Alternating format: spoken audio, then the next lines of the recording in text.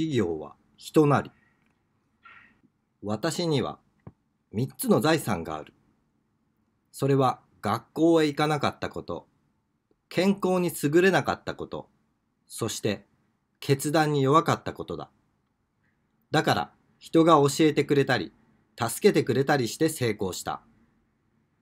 経営者にとって大事なことは、何と言っても人柄やな。無理に売るな。客の好むものを売るな。客のためになるものを売れ。売る前のお世辞より、売った後の奉仕。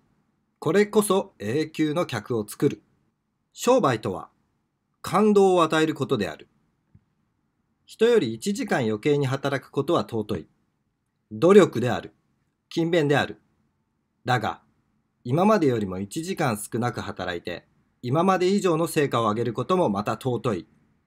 そこに人間の働き方の進歩があるのではないだろうか。経営者にとって大事なことは、何と言っても人柄やな。結局これに尽きると言っても構わんほどや。まず、温かい心というか、思いやりの心を持っておるかどうかということやね。人と比較をして劣っていると言っても、決して外ることではない。けれども、去年の自分と今年の自分とを比較して、もしも今年が劣っているとしたら、それこそ恥ずべきことである。人がこの世に生きていく限り、やはり何かの理想を持ちたい。希望を持ちたい。それもできるだけ大きく、できるだけ高く。力強さは使命感を持つところから生まれる。人類の生命は無限。だからその未来は無限。だからまだまだお互いに進歩しなければならないのである。とにかく考えてみることである。工夫してみることでもある。そしてやってみることである。失敗すればやり直せばよい。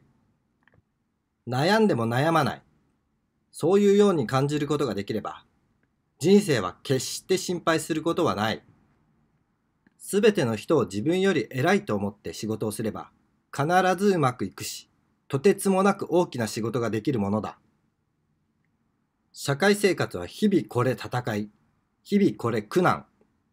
その時に心が動揺するかしないかは、信念の有無で決まる。感謝の心が高まれば高まるほど、それに正比例して幸福感が高まっていく。人の長所が目につく人は幸せである。思ったことが全部実現できたら危ない。3回に1回くらいがちょうどいい。失敗したところでやめてしまうから失敗になる。成功するところまで続ければ、それは成功になる。こけたら立ちなはれ。